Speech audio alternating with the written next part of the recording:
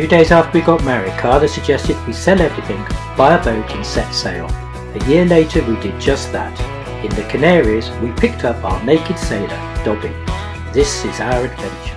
So week 31 guys. Yeah, Yeah. here we are, and uh, closer and closer to the end. That's the most in- best thing about it altogether. Yeah, we had a great week last week and we are hoping to have the same this week. Apart from that it's going to be just a three day week. Yes, because we're going very exciting actually, and you'll be able to see some extra videos. We'll still do a normal video about the barge, but we're also going to include in the next couple of weeks uh, some videos about sailing in Holland. Yes, because we were invited to go for a launch of this new brand of catamarans called Vaan Catamarans. They are absolutely amazing, beautiful. So we're gonna go to the presentation and to the Go, sail. go for a sail trial. Yeah, Yeah, absolutely so it's gonna be amazing. So last week was absolutely a brilliant week actually, and in fact we did manage to uh, line up the engine with the prop shaft and um, put the engine in uh, by bolting it down rather in the right place. And so well, we didn't include that in last week's video, so we're going to include that in this week's video. So we're going to crack on with that now, Yeah. and then we're going to finish the job and also put in a lot more hoses and move on to doing the um, the heater unit, Yeah. which we haven't finished, we haven't really started. So that's our next task. yeah, that's great. So this is a little bit more exciting today. We're going to actually uh, bolt up together the engine and the prop shaft. So we have to make sure that the two are perfectly aligned and there's no movement like this or this way. Um, in order to do that though, the prop shaft is around about uh, 10 centimetres, three and a half inches too long. And so we need to work out the length, uh, just big enough so that if we wanted to put an anode on the prop shaft when it sticks out, it needs to stick out about three fingers width uh, out of the stern tube. Uh, so we're going to do that first.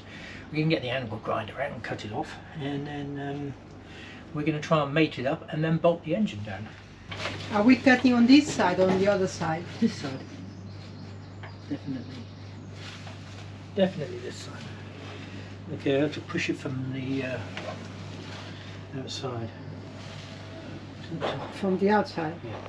We're going to cut about three centimetres or about an inch off here. And I'm using this bit of paper to get it square. Not that it's been cut square. Certainly hasn't. But I want to get it as square as I can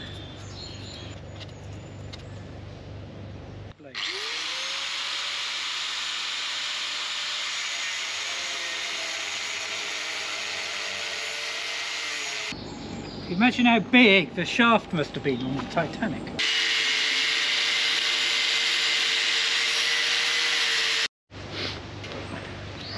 Oh, it's hot. There it goes. It's quite much nice, better than isn't the one before. Yeah, this one was a bit like somebody just. Anyway, there we go. I'll just get a file and just take the edges off.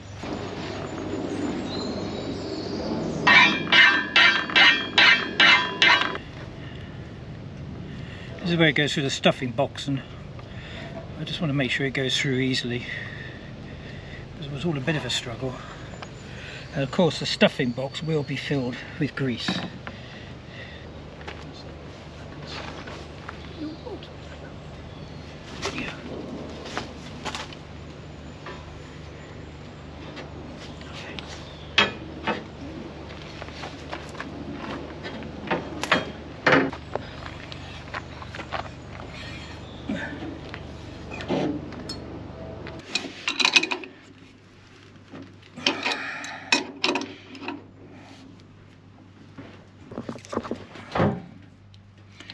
feeling is that it's a slightly bigger gap there around this side. Well, it does actually look quite good. I think I'm going to keep it like this.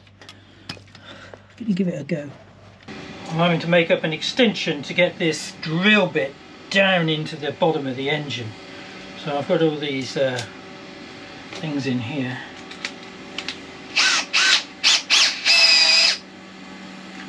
And uh, here we go.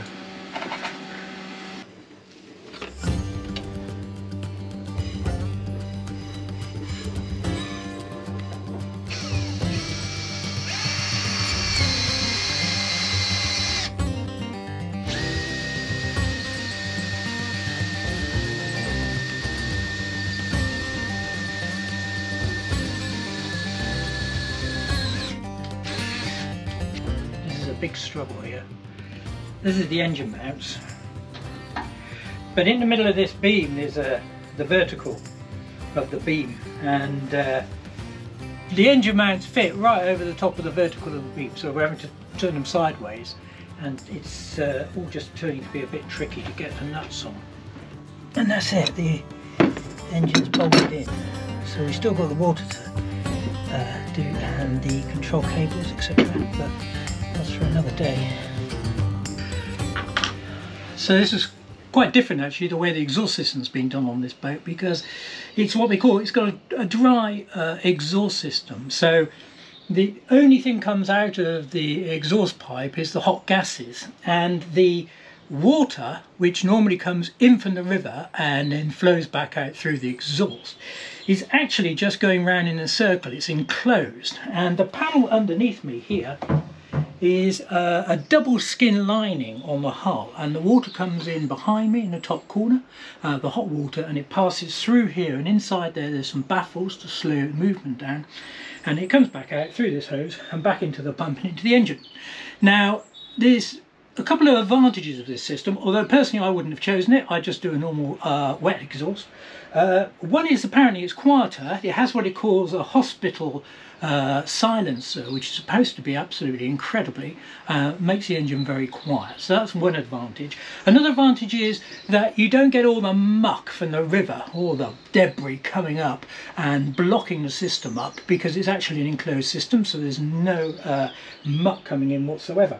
Um, so in a hole, it also got antifreeze in it, so uh, that's another uh, advantage. So that uh, over the winter period, this whole thing is sealed, uh, antifreezed, and if you're using a boat in the winter, you don't have a problem with the uh, river water freezing in the engine or anything like that. So all in all, it probably is uh, a, good thing. I'm really fascinated to try it. Um, I hope it works. I hope they've all the calculations that have been done by Vetus when the boat was being built are correct. So it's really quite exciting.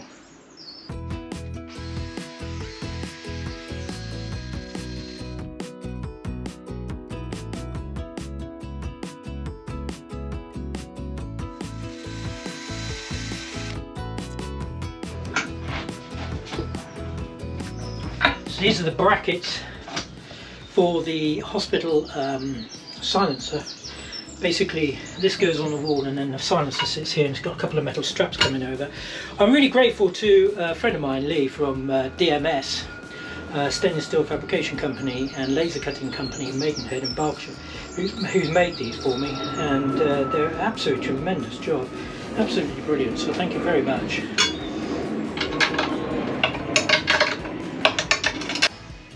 Go into the hole again. Yep, back in. I like a horse. That's a young stallion. This one doesn't want to go in.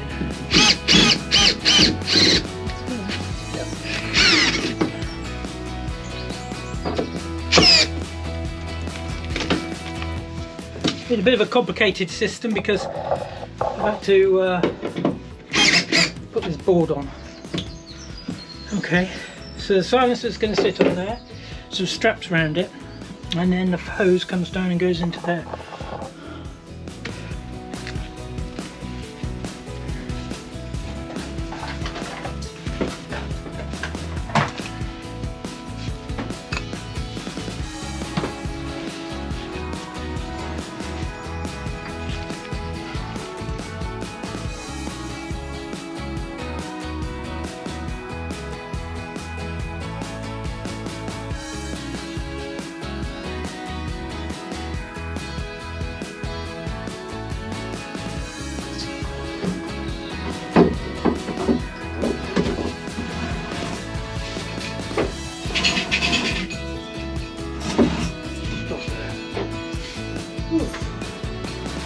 But it's kind of in here. Um, but what we're having to do is to take this bracket off because of this pipe that comes out here and uh, slide it across and then put the bracket back on.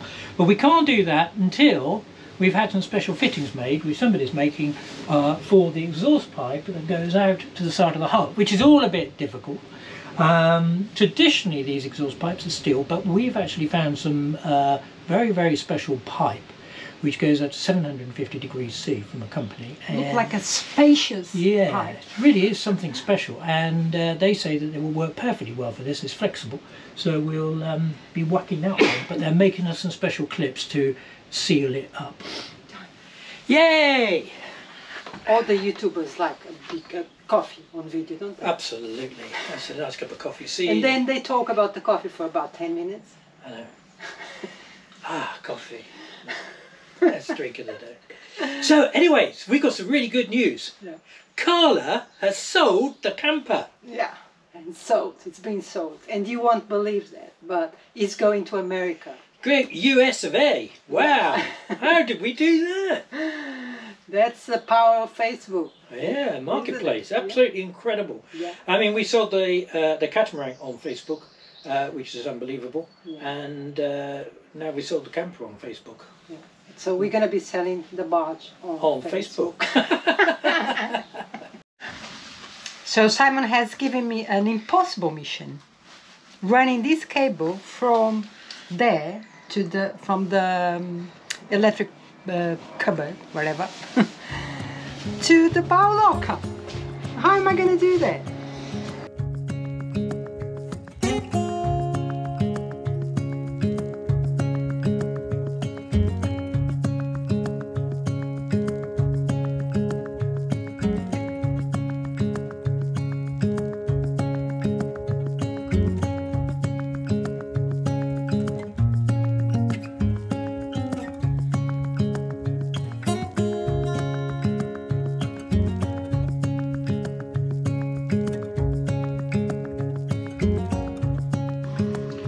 Okay, job done. Uh, was quite challenged to fix the cable at some points because it's uh, all covered, but uh, I managed to do it, and um so now it's here. It's going to be the next challenges for Simon to try to find a way to make a hole to go into the bow locker.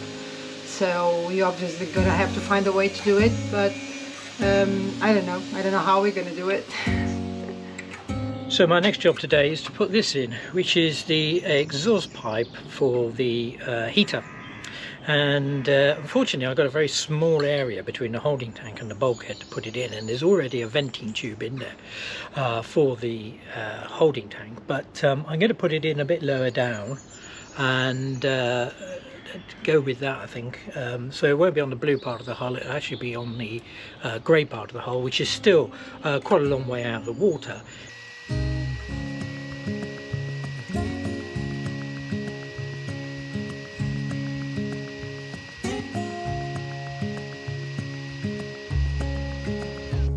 Okay, that's good.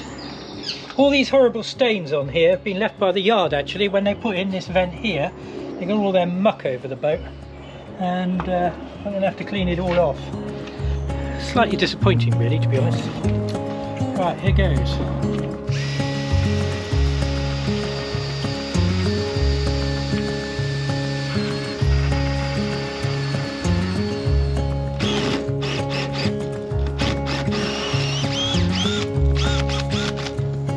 Well, hey, here we go. So that will go in like that.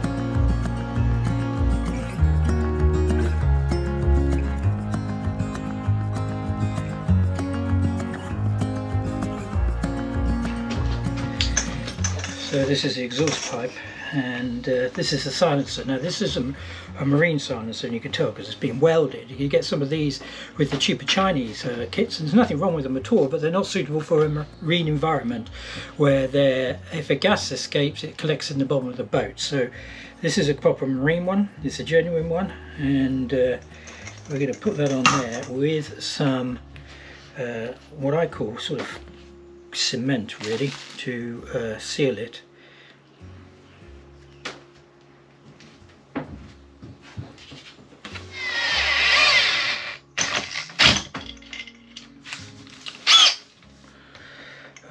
so this is going to go on the side of the hull. This is going to get lagged. I've got to get the length right cut it. And also it has to go up in a swan neck like that so that as any water doesn't uh, feed back into the boiler. So this is a heat resistant fiberglass mat which um, I'm putting round here so that uh, for a start if you put your hand on it you wouldn't burn your hand if it's that hot. But also because it uh, needs to protect itself against or it needs uh, pipes and stuff like that close by need to be protected from it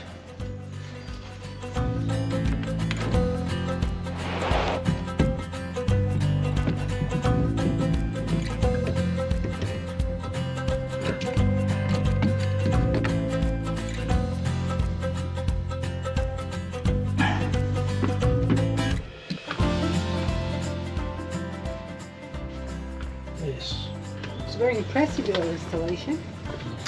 Yeah, I should have put this one this side of this, although it's tied up there. It's all right.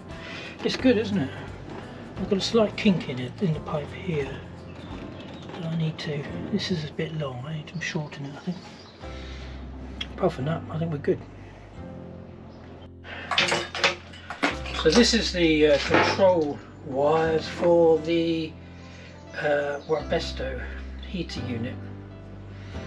And uh, to be honest, I'm just completely confused. Well, I'm not surprised. It looks very complicated. So this end goes says it goes on the heater, and there's two different connectors.